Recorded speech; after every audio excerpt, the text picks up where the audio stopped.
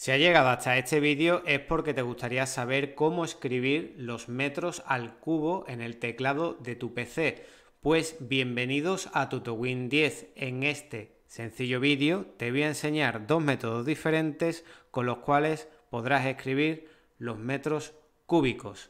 Bien, lo primero que vamos a hacer es escribir la abreviatura de metros, la cual evidentemente es M.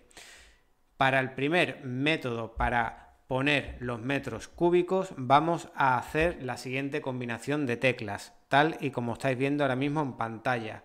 Lo que vamos a hacer es mantener pulsada la tecla Alt, que es la tecla que está justo a la izquierda de la barra espaciadora, y sin soltarla vamos a escribir 252.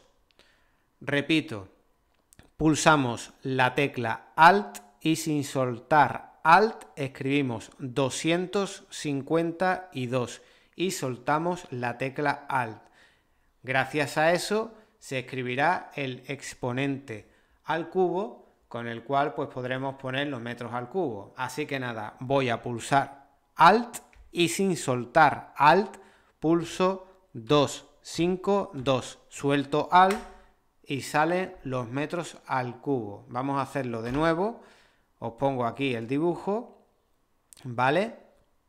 Pulso AL y 252. Así que nada, pulso AL y pulso 252 y suelto AL y ya está. Este sería el primer método y el segundo sería con el mapa de caracteres de Windows. ¿Qué es el mapa de caracteres de Windows y para qué sirve? Pues no es más que un espacio donde se recogen todos los caracteres especiales del sistema y es aquí donde podemos encontrar caracteres especiales como la arroba, el acento circunflejo, eh, la barra vertical, el slash al revés, etcétera. Todos estos estas formas mm, de caracteres especiales ya la hemos visto en el canal y la puedes encontrar en el canal de YouTube. Pero bien, vamos a centrarnos en los metros cúbicos. Para ello tendremos que llevar el cursor de ratón aquí al icono de búsqueda de la barra de tareas y ponemos mapa de caracteres. Como podéis ver ya me sale arriba y tendremos que entrar en la mejor coincidencia. Una vez dentro vamos a ver esta herramienta que tiene todos los símbolos especiales. Pues si os fijáis justo aquí en la parte más o menos, eh, porque es que hay muchísimos, pero en la primera parte, más o menos en la primera pantalla, justo a la mitad, aparece esto, aquí un 3, que es el exponente 3. Pues tan solo tendremos que hacer un doble clic con el botón izquierdo del ratón y ya nos aparecerá aquí caracteres para copiar. Si queremos podremos ir dándole aquí a seleccionar para que se vaya repitiendo. Pero como lo que queremos es poner los metros cúbicos, pues lo único que vamos a tener que hacer es dejar esto, ¿vale? Así que nada, lo vamos a proceder a copiar en el portapapeles. Así que le daremos a copiar y ya lo tendremos copiado en lo que sería el copia y pega de Windows.